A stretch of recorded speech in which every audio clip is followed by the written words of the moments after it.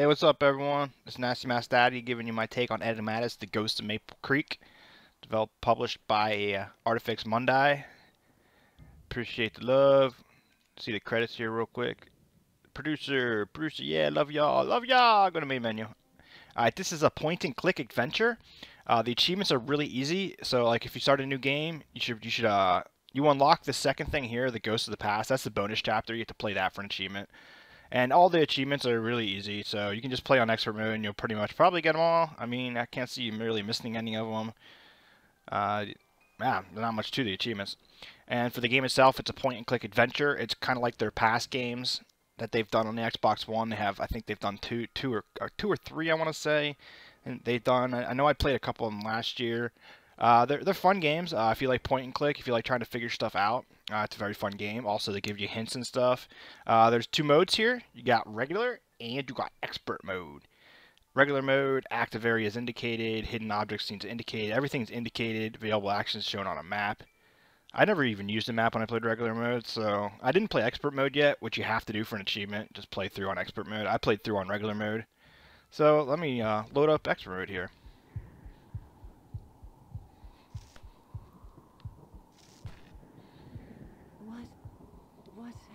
Happened to me?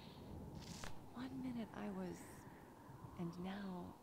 Now my heart is beating in my ears like hummingbird wings. And my hands are shaking. And covered in blood? It's not the cold that's sending shivers down my spine. It's what just happened. An event I have no memory of the story's kind of interesting, so uh, you could you could follow along with that. With like most point and click adventure games, uh, there's really not much to it. There's a, well, I mean, there's a lot to read and stuff if you really really want to get into the if you really want to get into the story. I am playing on Xbox One, and this is available now on Xbox One. A missing girl, and I'd already started the investigation when. When what? Wait, my notebook. I was renting a room here basically you're a detective. All the evidence I've you you wake up in this town and you you kind of have to like retrace your steps and figure out why you're here and what what you have to do.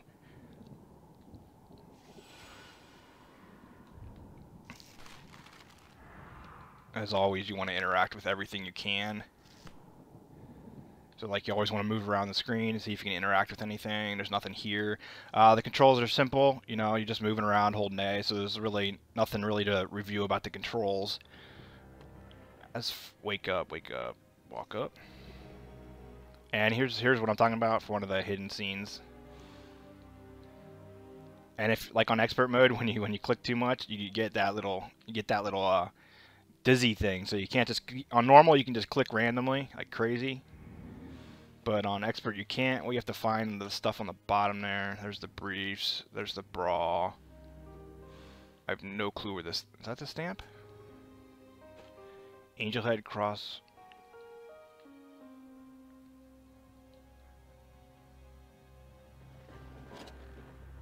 There's the stamp. Alright, uh... Crossword puzzle... Stockings... Where the hell's the angel head? I think I had problems with the angel head before. Angel head. I get a hint. Screw it. Also can use the hint. You don't want to use that hint though. What I just did there, if you use that, it'll avoid achievement. So don't like whenever you're, whenever you're in the puzzle, like whenever you're in a hidden objects like that, or you're in a puzzle, if you use a if you use a hint or you skip it, you avoid an achievement. So you don't want to do that. I don't have anything to use here. So walk up to here. I don't think I, yeah, I can't do anything here yet. Oh wait, hold on, I, I had an angel head. I could put the angel head in there. And then you have to figure out where it looks right here. That opens up that, so I can grab that. See if I want to, I can't skip it yet because because of that. But you have to match them up. Just you got to match them up. So that matches up to that. That one matches up already. Where's the hands going up to the face? There we go. Alright. Um, where's the line coming down? Green, green, green, green. I think that's right there. That's there. That's not right. That's not right either.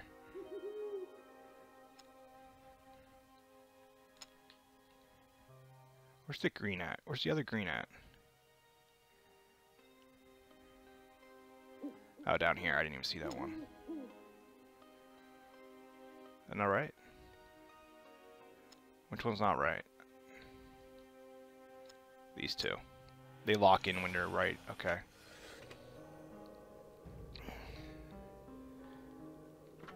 Yeah, I need to... I can't do this one yet. I can't finish it off because I'm missing a piece here. I have to find the other... I have to find the other angel head. Pretty sure. Okay. Now let's, uh... Let's go up to the car. Like I said, this is basically the whole game. I'm not going to go too much far farther into it. Yeah, it's... You got your battery here. This is for later. You can't use anything here now. Get the key. Nothing but static. The radio must be broken. I always want to make sure you're getting. You always want to make sure you're getting the hints too, because uh, eventually you're gonna have to come to the this the evidence, and you're gonna have to place the things in the evidence. Once you have enough, it'll expert. But yeah, I don't know. It should. I got the key, so I can use that in the trunk now. What do we got here? There's a lot of these in this game. Bolt cutters. Oh no, I clicked too much. Boo! What the hell am I looking for here, man? I can't find nothing. Bullet scales. I'm just failing miserably. There's a wrench. I need that. Alright, what do I need? Bullet scales, and a croissant. There's the croissant. The bullets? Scales. Scales, scales, scales. I will find you. Or I'll just click wildly and hopefully I hit it.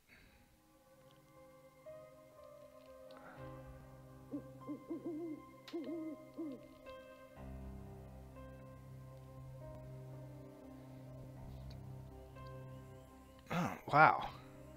Out here?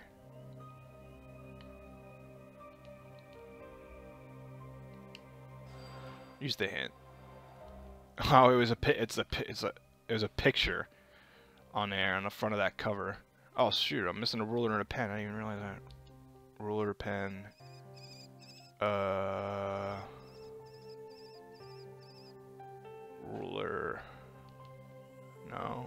There's a spring out there for some reason. There's a disc. Ruler and a pen. Uh you let your hint charge up. The hint takes 60 seconds on expert to charge it up. Overall, I would say uh, pick this game up. It's a fun. It's a fun little game. Uh, I feel like point and click. That is point and click. I love point and click games. Love trying to figure stuff out. I love it's like brain. It's like a brain teaser. You know, brain tester. I like testing my brain out. You know what I'm saying? Uh, it's it's nice to have a brain bender.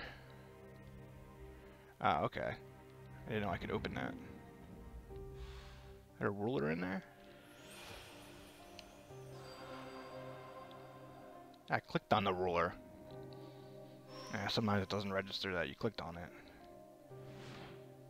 I got the bolt cutters now, so now the bolt cutters I can use back here to get in into here. Chop, chop, chop. Now we are in the house. Alright guys, well that's all I'm going to give you. I'm not going to go any farther. I don't want to spoil anything for anyone. But as a review, I'd say I'd give this game probably about, I'd probably give it a, for what it is, point and click, uh, I'd give it a probably a six out of ten, maybe seven out of ten. Six out of ten probably though. But uh, like I said, it's got easy achievements. So if you're into achievements, definitely definitely pick it up. If you're not, you may want to wait for a sale or but you know point and click. You know, it's fun. I enjoy it. Like I said, it's brain tester. You know what I'm saying? It's got good good graphics. There's no graphic clipping or nothing like that. Uh, it's, it's, it's got a little a little cool story to it. So uh, yeah, guys, Nasty Masta Dad is saying peace out and don't.